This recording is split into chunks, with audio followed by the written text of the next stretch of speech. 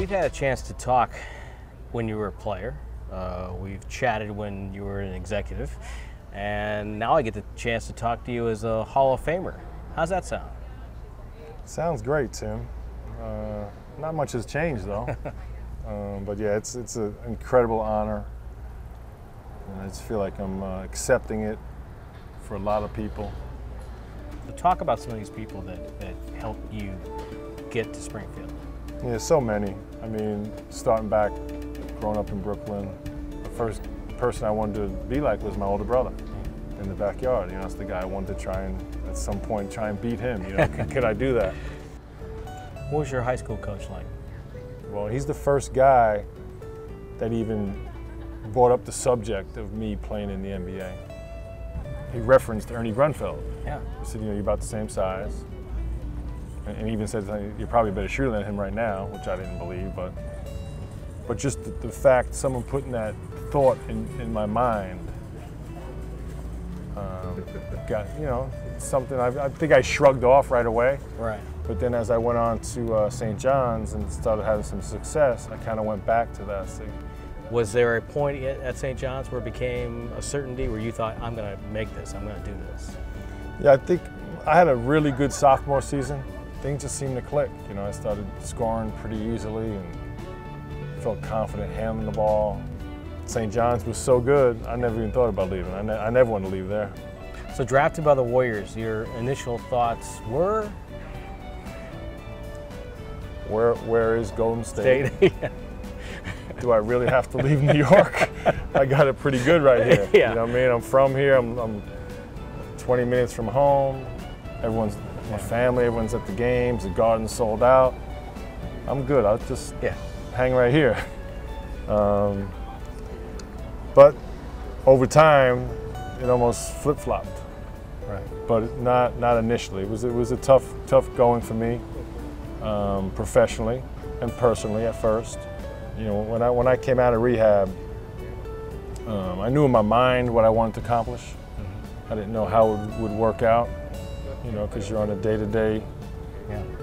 deal with yourself, and who knows what the future holds. But when I played that first game back, and the reception I received from the fans, it really gave me a good feeling about what I was trying to do.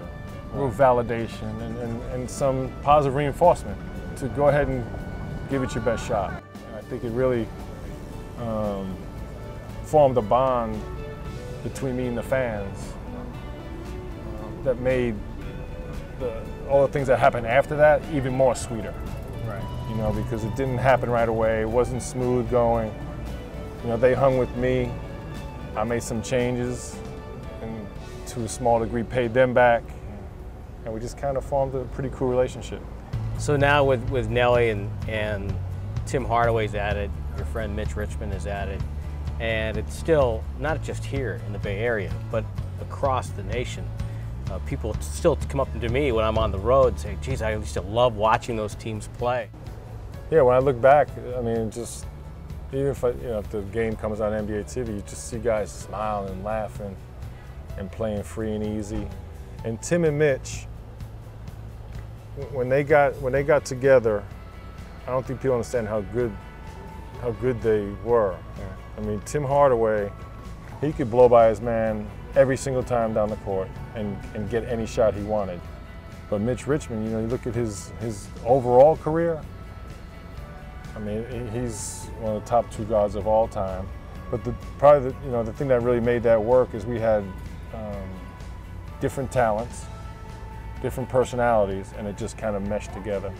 You know, I don't think we were a real threat to win the whole thing, but for a franchise that was regrouping, it was, it was a really, really good team to do that to get to get the Warriors back on the map.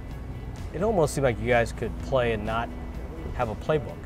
You guys could go out and just played basketball, and you guys could have got results. To a degree, I think a lot of times it looked that way, but I always say too, you know, when you play fast, there's as much preparation that's put into it. It's just different. Let's talk about a couple of different guys. Uh, Manute Bol.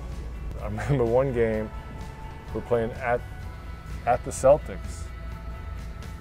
Um, you know, I don't know if Larry played that night, but Larry Bird, Kevin McHale, myself, Mitch, Tim, Dennis Johnson, Manute Bol won that game on a three-point shot. so uh, God rest his soul. You know, I mean, Manute, one of my really, really dear friends.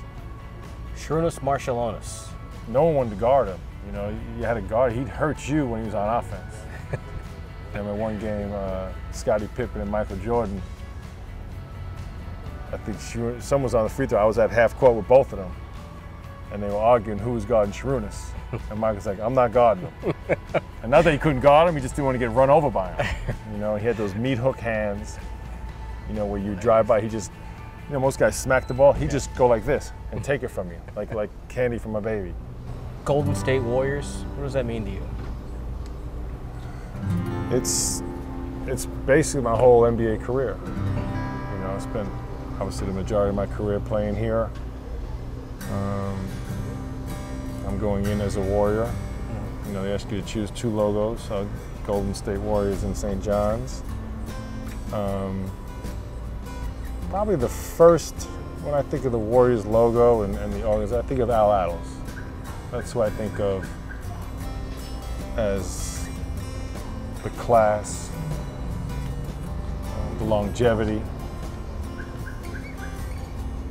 and just you know the way he handles himself on a daily basis. And I was I was the GM when I first came to the Warriors, and always just a just a rock of Gibraltar.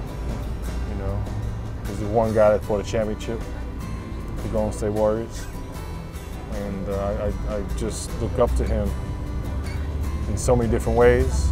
Nate Thurmond, right. another guy just like that in that mold of consistent class, um, unassuming, you know, humble. You're talking about one of the 50 greatest players of all time, and, and, and Nate could, you know, walk in the room, sit in the corner, and, and, and, be just, just comfortable, you know, just unassuming, like I said, and, and humble. The Warriors have obviously new ownership. They have a new uh, basketball side, and Wolf, somebody you know pretty well, is the, the head coach. What do you think? I love it. Mark Jackson, ironically, you know, my guy from Bishop Loughlin. you know, we go so far back. Um, you know, Mark hasn't coached a game yet, so he's not a warrior yet, but he is their head coach.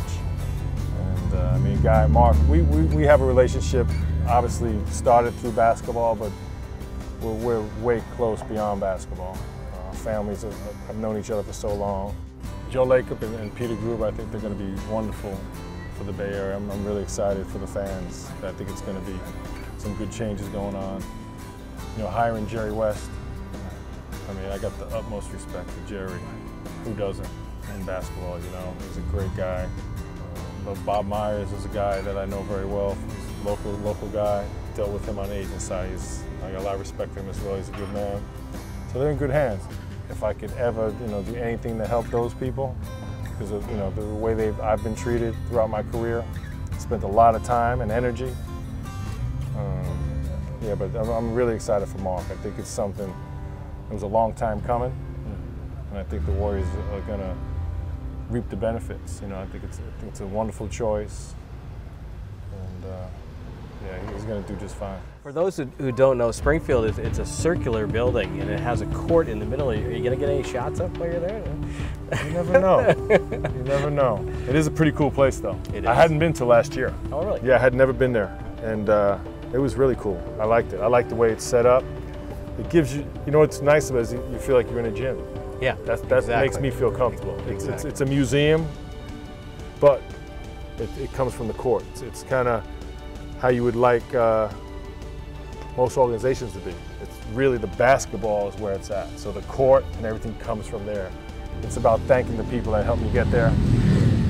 I know, you, and I've been told you don't want to just list people.